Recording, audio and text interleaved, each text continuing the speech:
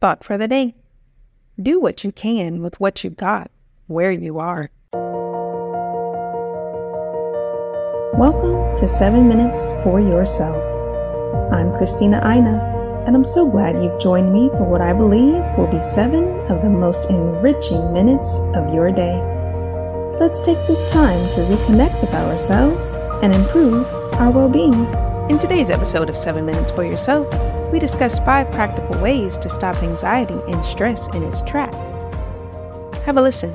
These strategies that we're going to talk about in this session not only help prevent the onset of depression and anxiety, but also help manage it if mm-hmm. you find yourself in those states. What are some of your favorite self help strategies? Well, I sort of have like five that kind of come together okay. in a package. Great. And they're all, when you talk about them, they just seem like duh.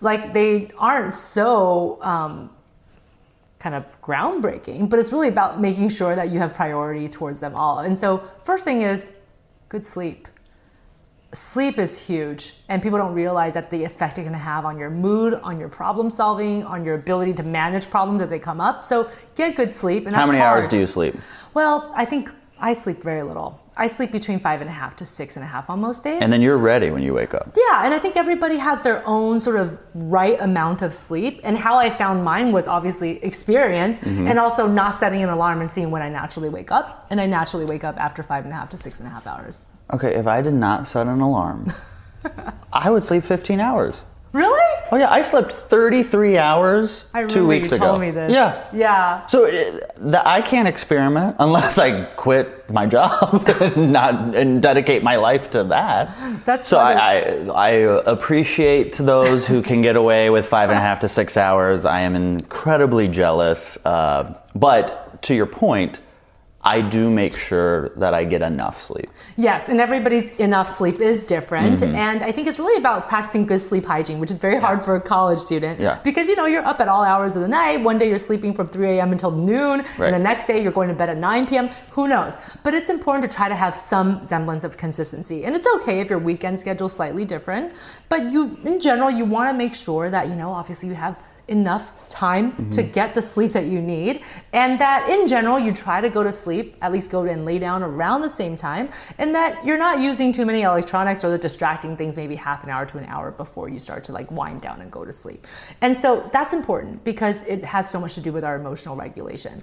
The second thing is exercise. People don't realize that it's free good hormones, guys. It's like free feel good hormones, endorphins. I have never heard from somebody, even if they had to struggle getting into the gym or starting to walk or run, that afterwards they regretted it. it you are right about that. I have not that. heard about that. Everyone leaves the gym going, I'm glad I did that. Yep. Yes. Even if it was so hard for you yeah. to do it. Because uh, everyone knows I, I do not like. Are you okay? So when you wake up at five in the morning, mm-hmm. do you go you go run? Not at five. Oh. No, I like to take my time. I wake up at five. I like slowly get but up. But then you go run. Coffee. Yeah, I go running maybe like an hour and a half after I wake up. So like six thirty-seven. Every day you do that.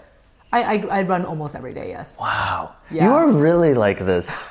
Just like how eh, like how I picture my life wanting to be. That's how you live. You know what though? I think it's almost like when you know too much, you have to. Like once I know, you know all it's good for research, you. Yeah I just can't. I can't like, and I know how I'm gonna feel after. Like, okay, this morning, for yeah. example, I almost didn't go on a run because I was like I ran the last 14 days. I actually haven't taken a break, and I was like, ah, I don't. I'm tired.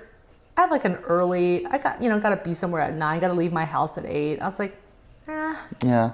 And then around seven, I went again and I said, you know what? Even if it's a short run, just do it because I already picture myself afterwards wishing I did it knowing that it would be good for me if I yeah. did it, knowing that I felt tired this morning and that actually running would fix it. And then you did it. And then I did it, and I feel better. And you liked it. I liked it. Yeah, I don't regret it. Absolutely. Yeah, you not. definitely wouldn't regret it. No, I get that. Nobody yeah. regrets it, right. and exercise can really help to manage your mood. Right. That's okay. a really big, um, really important thing that most people don't realize. You know, uh, Dr. Ramani convinced me I need to be more empathetic, so I've been working on that. but after that's done, after yeah. I feel like I'm in a good place with my empathy, I'm gonna start trying to do the sleeping, the drinking water, the exercising. Yeah. Exactly. You know. Yeah, and that brings up the next one. Yeah. The next, the third coping strategy is, you know, eating well, and that includes drinking enough water. People Yeah. don't realize that they're most of the times dehydrated. Yep. So then when they feel tired or off, or maybe sometimes people say that they feel dizzy, sometimes it's dehydration. Mm-hmm. And also, when you eat generally well, you're gonna feel better. Absolutely. You just make better choices. Research shows that if you can make healthy choices 80% of the time, that that's enough. So it doesn't mean that every single meal you have to be eating your veggies and mm-hmm. you have to never eat fries or burger. I eat fries, I eat mm-hmm. burgers. It's fine, but it's mm-hmm. just that it's kind of like that 20 80 uh, sort of ratio. Try to aim for that and try to make better choices, especially if you're eating late at night, because that can again contribute to a lot of fatigue in the next day. So that's a big one. And the next one is social activities. just just be aware, be mindful of the social media use. Yeah. I mean, I know at nauseum we hear it on the media. We even talk it about talk about it in MedCircle so much. For me personally, I feel worse after I'm on social media. Yeah, and the, the last thing, um, aside from all the things that we've already talked about, is making sure that you still stay on top of your hobbies. You have to do something that's still enjoyable. That concludes today's episode of 7 Minutes for Yourself. Please take a moment to rate and review the show on Apple Podcasts. Today and every day with your kiddo is a gift. Enjoy it.